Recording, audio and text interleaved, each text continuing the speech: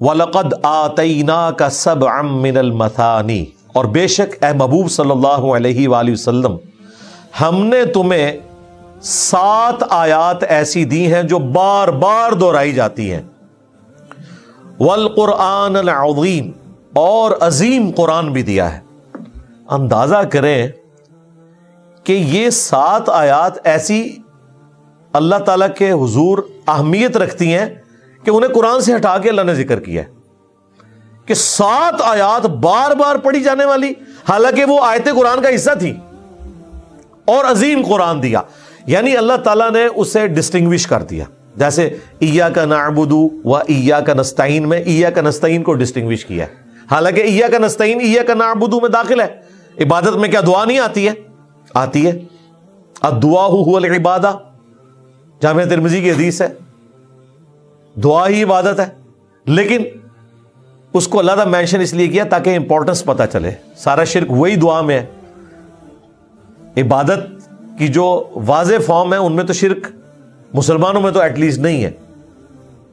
कोई इस एतबार से अल्लाह की ज़ात में शरीक ठहरा दे। जालत की ऐसे कर दे, लादा बात है। उमन तो कोई नहीं करता। लेकिन जो इस्तानत है गैरुल्ला से मदद मांगना, इसमें तो बड़े बड़े मुवाहिदीन फंसे हुए हैं जो अपने जोम में अपने आप को मवाहिद समझते हैं, तोहीद कॉन्फ्रेंस करते हैं। और ये शिर की सारी शक्लें वो साबित करते हैं कि ये तोहीद के मुनाफी नहीं है। यहाँ पर भी देखें ये कितनी इंपॉर्टेंट चीज़ थी। अल्लाह ताला ने सात आयात का ज़िक्र किया कि हमने तुम्हें सात आयात ऐसी दी हैं जो बार बार पढ़ी जाती हैं और अजीम कुरान दिया। यानी कुरान खुद अजीम है। उसमें भी वो सात आयात सबसे ज़्यादा अजीम है। वो सात आयात कौन सी है? सूरतुल फातिहा की। सूरतुल फातिहा, कुरान की वो वाहिद सूरत है, जिसकी फजीलत कुरान में आई है। बाकी सारी सूरतों की फजीलतें अहदीस से हम बयान करते हैं। सुर अखलास तिहाई कुरान के बराबर है बुहारी मुस्लिम की हदीस है। सुर मुल्क जाम तिरमजी बुदाऊद में हदीस मौजूद है कि जो अपने पढ़ने वाले की शफात करेगी और उसे अल्लाह से बख्शवा लेगी।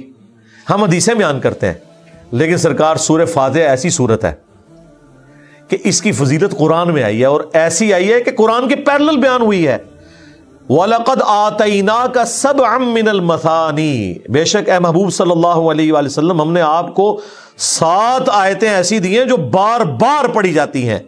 वल कुरान अजीम और अजीम कुरान भी दिया। इससे बढ़कर क्या फजीलत होगी कि अल्लाह ताला के नज़दीक जो सबसे बड़ा अमल है, जो मुमिन और काफिर का फ़र्क है, नमाज़, व अकीमसलाह वला तकून मिनल मुशरकिन नमाज़ कायम करना मुशरक ना हो जाना। और सही मुस्लिम की हदीस के बंदे के कुफ्र और ईमान, शिरक और इस्लाम के दरमियान फ़र्क नमाज़ है।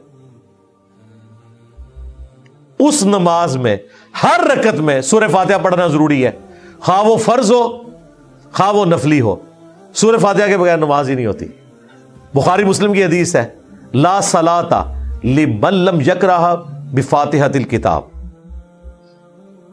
उसकी नमाज़ ही नहीं है जो सूरत फातिहा की तलावत नहीं करता। फिर बुखारी मुस्लिम में उम्मुल किताब भी ज़िक्र है। जो किताब की माँ, किताब की जड़ ना पढ़े, उसकी नमाज़ नहीं है। इसे उम्मुल किताब भी कहा गया। फातिहा, यानी कुरान को खोलने वाली, ये कुरान की चाबी भी है। कुरान की माँ भी है, कुरान की जड़ भी है। सुर फातिहा। इससे बड़ी क्या बात होगी? यार, आप इमेजिन करें कि हर नमाज़ की हर रकत में आप जो मर्ज़ी पढ़े, लेकिन फातिहा आपने पढ़नी पढ़नी है। बाकी पूरे कुरान में से आपकी जो मर्ज़ी पढ़े। लेकिन फातिहा आपने पढ़नी पढ़नी है। इसके बगैर आपकी नमाज़ ही नहीं होनी। बल्कि जाम तिरमजी में हदीस है, नबी इस्लाम कहते हैं कि सूर फातिहा जैसी सूरत ना तौरात में है, ना जबूर में है, ना इंजील में है। अल्लाह ने किसी पैगंबर को इस तरह की सूरत नहीं दी जो मुझे दी है, सूरतुल फातिहा। ये इतनी अजीम सूरत है। सही बुखारी में इसी आयत के कॉन्टेक्स्ट में एक हदीस है। सेम यही आयत पढ़ के नबी इस्लाम ने बयान किया। सही बुखारी में हदीस है, नबी इस्लाम ने एक सहाबी को किसी काम से बुलाया तो वो थोड़ी देर बाद हाजिर हुए। नबी इस्लाम ने कहा कि मैंने तुम्हें बुलाया था। उन्होंने कहा यारसोल्ला मैं नमाज़ पढ़ रहा था, मुझे आपकी आवाज़ आई है, लेकिन मैं नमाज़ पढ़ रहा। तो आपने फरमाया कि क्या तुमने कुरान की आयत नहीं सुनी हुई? सूरतुल अनफाल की कि जब अल्लाह और उसका रसूल बुलाएँ, फ़ौरन हाजिर हो जाया करो। यानी नबी इस्लाम इस प्लेनेट अर्थ पे वाहिद पर्सनैलिटी हैं कि अगर कोई शख्स अपनी नमाज़ उसी जगह पर छोड़कर आपका हुक्म सुनने के लिए आए तो उसकी नमाज़ नहीं टूटेगी, क्योंकि वो अल्लाह के एक हुक्म से दूसरे हुक्म की तरफ़ जा रहा है। और वापसी में वहीं से नमाज़ शुरू करेगा। नए सिरे से भी नहीं शुरू करेगा, क्योंकि एक हुक्म से दूसरे की तरफ़ ट्रांसफ़र हो रहा है। यह प्रोटोकॉल सिर्फ़ नबी इस्लाम का है। बाकी केसेस में आपको नमाज़ तोड़नी पड़ेगी। नबी इस्लाम के केस में नमाज़ टूटेगी नहीं, बल्कि एक हुक्म से दूसरी तरफ़ जा रहे हैं। मजबूरन हो सकता है कोई इमरजेंसी हो गई है या कोई और इशू हो गया तो नमाज़ तोड़नी पड़ जाए। लेकिन इस केस में नमाज़ टूटेगी नहीं। तो नबी इस्लाम ने जब उनको कहा, अब नबी इस्लाम को यह भी एहसास हुआ कि मेरी ये बात सुन के इसको थोड़ा फील हुआ होगा। फिर आपने फरमाया कि अच्छा मैं तुम्हें ना इस मस्जिद से निकलते हुए कुरान की सबसे अजीम सूरत बताऊँगा कि कौन सी है। अब वो साहबी तो इंतज़ार में बैठ गए कि अल्लाह के महबूब सल्लल्लाहु अलैहि वसल्लम मुझे बताएँगे कुरान की सबसे अजीम सूरत कौन सी है। जब नबी इस्लाम मस्जिद से निकलने लगे तो उस साहबी ने हजूर का हाथ पकड़ लिया, कहा यारसुल्ला आप अपना वादा पूरा करें। आपने मुझे ये मदनी रिश्वत जिसे कहते हैं ना वो, बापा जानी पॉजिटिव सेंस में कि मुझे एक ऑफ़र दी थी तो मुझे बताएँ कुरान की सबसे अजीम सूरत कौन सी है। तो आपने फरमाया, वो है अल्हम्दुलिल्लाह रब्बिल आलमीन। और फिर आपने पढ़ा कि ये है सब अमिनल मसानी, ये है वो सात आयात जो बार बार दोहराई जाती हैं, जो अल्लाह ताला ने मुझे अता की हैं। अल्हम्दुलिल्लाह रब्बिल आलमीन। सूरतुल फातिहा। अच्छा इस हदीस से यह भी पता चल गया कि बिस्मिल्लाह सूर्य फातिहा का हिस्सा नहीं है। बिस्मिल्लाह के बगैर सात आयात पूरी होती है। वरना नबी इस्लाम कहते बिस्मिल्लाहमान अल्हम्दुलिल्लाह रब्बिल नेचुरल था। यह हदीस भी सबूत है। लिहाजा इमाम उनीफा का मौकफ दुरुस्त है कि बिस्मिल्लाह कुरान का तो हिस्सा है फातिहा से पहले। और कुरान के अंदर आयत भी है। सूर्य नमल की आयत नंबर तीस इन मिन सुलेमान व इन बिस्मिल्लाहमान रहीम लेकिन सूरतों से पहले जो बिस्मिल्लाह आई हुई है ना इंक्लूडिंग सूर्य फातिहा, वो सूर्य फातिहा का हिस्सा नहीं है, लेकिन सुन्नत ज़रूर है कि आपने सूर्य फातिहा हो या कोई भी सूरत जब स्टार्ट करेंगे बिस्मिल्ला ज़रूर पढ़ेंगे। कुरान का हिस्सा भी है, लेकिन सूरत का हिस्सा नहीं है। यह हदीस उनको सपोर्टिव है। एक और हदीस, सही मुस्लिम हदीस है अब्दुल्ला इबन उमर कहते हैं कि रसूलुल्लाह सल्लल्लाहु अलैहि वसल्लम और हज़रत अबू बकर और हज़रत उमर अपनी नमाज़ की किरात का आगाज़ अल्हम्दुलिल्लाह रब्बिल आलमीन से करते थे। उसमें बिस्मिल्लाह का ज़िक्र नहीं है। यानी बिस्मिल्लाह आपने पढ़नी है आहिस्ता और सूर्य फातिहा को बुलंद आवाज़ से पढ़ना है। लिहाजा अल्हम्दुलिल्लाह रब्बिल आलमीन से ही सूर्य फातिहा शुरू होती है। इमाम शाफी बिस्मिल्लाह को कुरान का हिस्सा मानते हैं। सूर्य फातिहा के आयत के तौर पर। अहल तशैयो भी बिस्मिल्लाह को कुरान का हिस्सा मानते हैं सूर्य फातिहा की आयत के तौर पर। हमारे नज़दीक इमाम मुनीफा का मौकफ दुरुस्त है और इस वजह से नहीं कि इमाम मुनीफा ने कहा है। अगर इमाम मुनीफा ने कोई इस तरह की बात की होती तो आपको अनफियों ने ये दीसें बताई होती हैं दीसें तो हम आपको बता रहे हैं दीसें तो नबी इस्लाम की हैं। ठीक है? कि ये अल्हम्दुलिल्लाह रब्बिल आलमीन से सूरज शुरू होती है।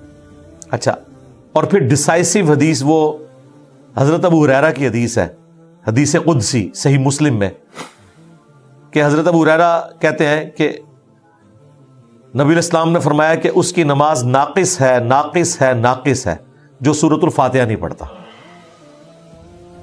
और फिर नबी इस्लाम ने फरमाया कि अल्लाह ताला फरमाता है कि मैंने नमाज़ अपने और अपने बंदे के दरमियान बराबर तकसीम कर ली है। आधा हिस्सा मेरे लिए है और आधा मेरे बंदे के लिए और मैंने अपने बंदे को अता कर दिया जो मुझसे मांगेगा। फिर नबी इस्लाम ने फरमाया कि अल्लाह ताला फरमाता है कि जब मेरा बंदा कहता है, अल्हम्दुलिल्लाह रब्बिल आलमीन तो मैं कहता हूँ, मेरे बंदे ने मेरी हमद की। जब वो कहता है अर्रहमान रहीम तो मैं कहता हूँ, मेरे बंदे ने मेरी सना की। जब वो कहता है, मालिक दी तो मैं कहता हूँ, मेरे बंदे ने मेरी बुजुर्गी का इतराफ कर लिया कि मैं ही क्यामत के दिन का मालिक हूँ. और जब वो कहता है ईया का नाबुदू व ईया का नस्ताइन तो ये मेरे और मेरे बंदे के दरमियान कॉमन है। बस मेरे बंदे ने जो मांगा, मैंने उसे दे दिया। और जब वो कहता है, इहदिन सिरातलमुस्तकीम सिरातल्लदीन अनअमत अलैहिम गैरिल मगदूब अलैहिम वलद्दालीन आमीन तो मेरे बंदे ने जो मुझसे मांगा मैंने उसे अता कर दिया अब ये बड़ा अच्छा मौका था अब इसमें तो मैथमेटिकल डिवीज़न हो रही है कि सूर्य फातिहा को पूरी नमाज़ कहा नबी इस्लाम ने और अल्लाह से रवायत किया हदीस कुदसी और साथ कहा कि आधी मेरी और आधे मेरे बंदे के लिए और फिर उसकी डिवीज़न नबी इस्लाम ने अल्लाह ताला के रेफरेंस से बयान की कि अल्लाह ताला कहता है, जब मेरा बंदा कहता है, अल्हम्दुलिल्लाह रब्बिल आलमीन। तो ये बड़ा अच्छा मौका था। यहाँ ये होना चाहिए था, जब मेरा बंदा कहता है बिस्मिल्लाहिर्रहमानिर्रहीम तो मैं कहता हूँ, मेरे बंदे ने मेरे नाम से शुरू किया, लेकिन ये नहीं है उसमें। डायरेक्ट स्टार्ट हो रहा है, अल्हम्दुलिल्लाह रब्बिल आलमीन। और देखें, डिवीज़न कैसे हो रही है। अल्हम्दुलिल्लाह रब्बिल आलमीन। आयत नंबर एक और रहमान रहीम। आयत नंबर दो मालिक उम्मीदीन आयत नंबर तीन। ये तीन आयात अल्लाह के लिए होगी, जिसमें आपने अल्लाह की तारीफ़ बयान की। ईया का नाबुदू व ईया का नस्तीन मुस्लिम के अल्फाज है, ये मेरे और मेरे बंदे के दरमियान कॉमन है। कॉमन कैसे हो गया? ये आयत ऐसी है जो दो टुकड़ों में बट जाती है। ईया का नाबुदू, ये अल्लाह के साथ होगी। वह ईया का नस्तीन बंदे के साथ बंदा मांग रहा अल्लाह से। लिहाजा अल्हम्दुलिल्लाह रब्बिल आलमीन अर्रहमान रहीम, मालिक यौमिद्दीन ईया का नाबुद। ये साढ़े तीन आयात, ये निसफ हो गया सूर्य फातिहा का। वैया का नस्ताइन ये आदि आयत, और इहदिन सिरातल मुस्तकीम, ये उससे अगली आयत। सिरातल्लदीना अनअमत अलैहिम, उससे अगली आयत। और गैर मकबूब अलैहिम लीन आमीन। उससे अगली आयत। साढ़े तीन आयात इधर, साढ़े तीन आयात इधर। वाओ दरमियान में है। ईया का नाबुद। वाओ सेंटर में ईया का नस्ताइन इस दिन मुस्तकीम, ऑनवर्ड। और ये सारी देखें, बंदे से मुतालिक है। ईया का नाबुद तक बंदा अपने रब की तारीफें कर रहा है और उसके बाद रब से माँगता जा रहा है। ईया का नस्ताइन इस दिन मुस्तकीम